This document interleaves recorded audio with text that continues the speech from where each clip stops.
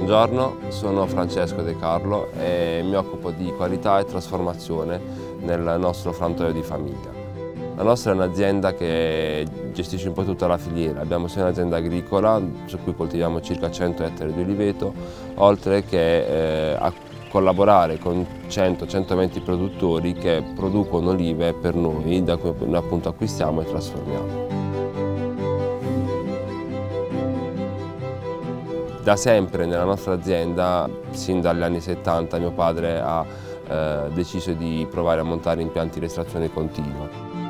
Come frantoio De Carlo mediamente ci attestiamo intorno alle 400 tonnellate di olio l'anno, mediamente.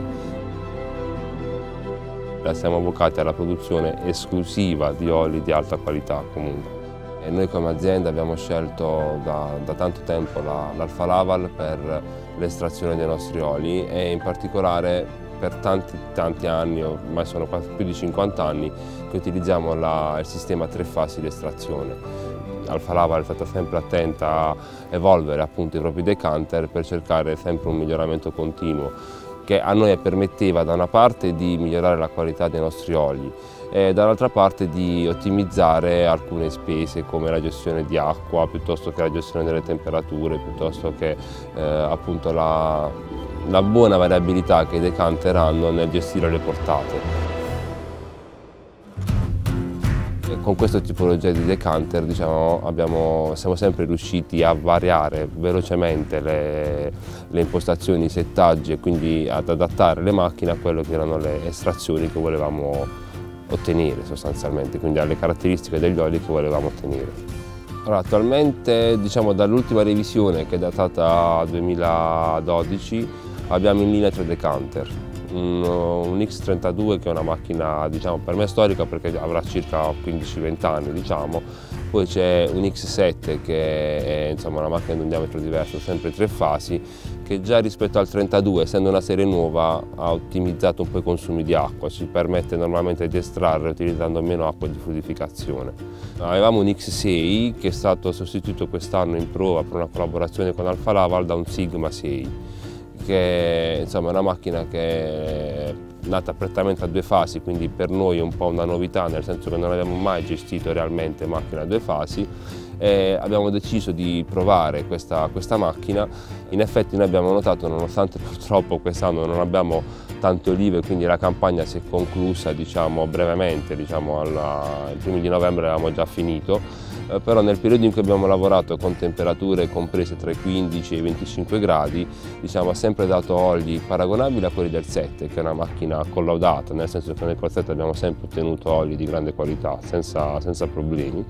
Quindi ci ha dato oli dal gusto, dalle caratteristiche simili, molto simili a quelle del 7 però c'è il grande vantaggio che non abbiamo usato per niente acqua di fluidificazione eh, ci dà due vantaggi. Uno non utilizziamo energia per riscaldare un po' quell'acqua quindi abbiamo quel risparmio energetico e in più abbiamo il grosso risparmio di non dover andare poi a spandere quest'acqua sui terreni. Almeno nel nostro areale, nel nostro territorio dove non ci sono, dove l'appezzamento è più grande, comunque sono, parliamo di 25-30 ettari, è, è importante avere macchine che si adattano a diverse situazioni nell'arco della stessa giornata. Sicuramente Alfa Laval può aiutarci a supportare le sfide future in, eh, in vari modi. Eh,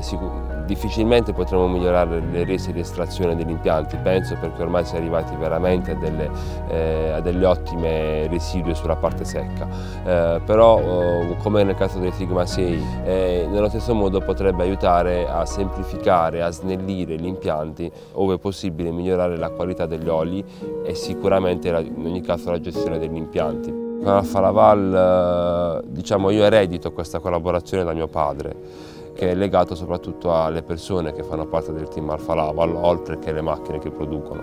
perché è chiaro che per collaborare con un'azienda devi anche avere da, dall'altra parte delle persone disposte ai termini di una collaborazione che